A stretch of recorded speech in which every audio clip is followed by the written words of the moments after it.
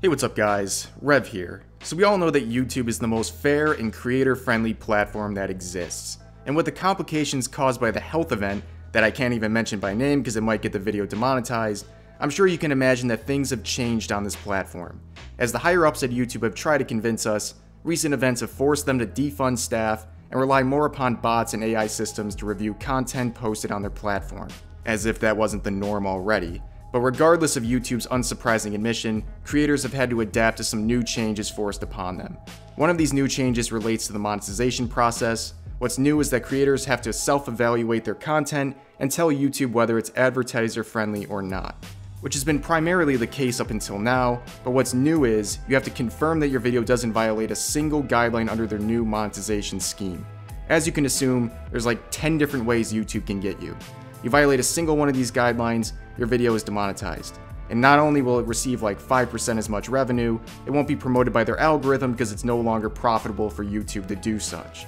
So in other words, a video falls into this trap, it's dead in the water. And as you can imagine, there's essentially infinite ways to fall into this, whether it's cursing, sexual innuendos, controversial topics, almost anything that's not G-rated can land you into trouble. What's even worse is that YouTube has created a ranking system with these evaluations. If you properly evaluate your video ratings, you gain more trust. And you'll be given more leniency and benefits from YouTube in terms of monetization. Now you're probably wondering, what does it mean to be a trusted creator? Well, I had an idea. After this system was put into place, I correctly marked about 20 straight videos, and honestly, it seemed like this gave me a bit more leniency. However, I made a grave and completely unforgivable mistake. After being reliable for almost two months, I incorrectly labeled a video that was later demonetized. But to our surprise, I'm able to correctly identify the video that shamed my reputation. It was the Tomboy Outback versus Femboy Hooters video. Now what part of that video got me demonetized you may ask? Now what part of that video got me demonetized? I was demonetized for hateful content. Now how, you may ask yourself? I was demonetized for sharing homophobic comments that resulted from the previous Femboy Hooters video to make a quick joke about how people are so easily triggered by the concept. Well, I guess the bot systems over at YouTube were unable to understand the point I was making and made me the villain of this manga and punished me for showing hateful comments other people made. As a result, as YouTube claims, improperly evaluating one of the 30 or so videos I have made at this point, I am no longer a trusted evaluator. Now does this make a difference you ask? Yeah, apparently it does because pretty much every video I've uploaded since gets demonetized no matter what and I have to wait for it to get reviewed.